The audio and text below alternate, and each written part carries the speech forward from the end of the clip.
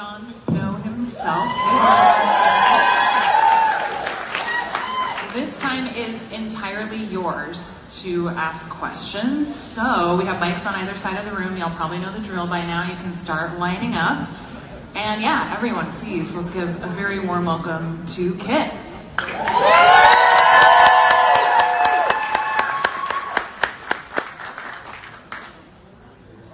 The true king! The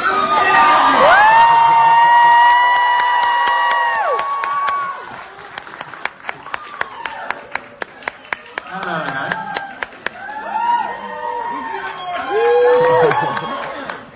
Kit, welcome. How you doing? I'm good. I'm good. Thank you. Nice to see you all. Uh, should we start on this side? Just go to it. You know,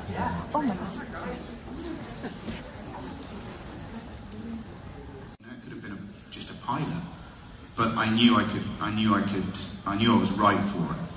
And then you walk into the room with confidence, and then and then the part you stand every chance of getting the part.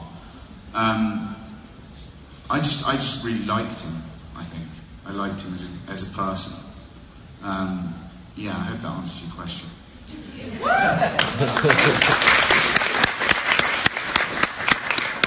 Um, thank you so much for being here again. Um, I just want to know what what was it like like meeting and working with your wife Rose growing that on screen and off screen relationship and it was so amazing for all of us to get to watch that on the show.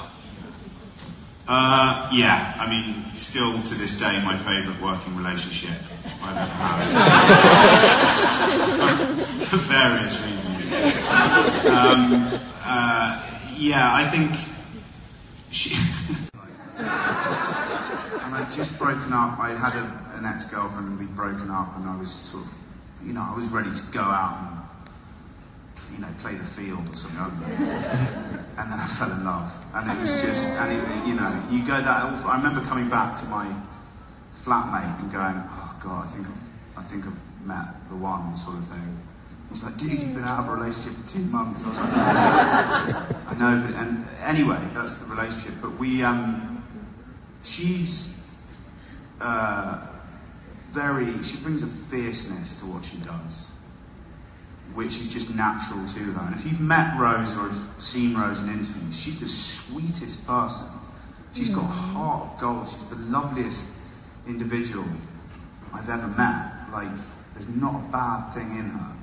And yet, when she bring, when she comes to screen, she exercises whatever's inside of her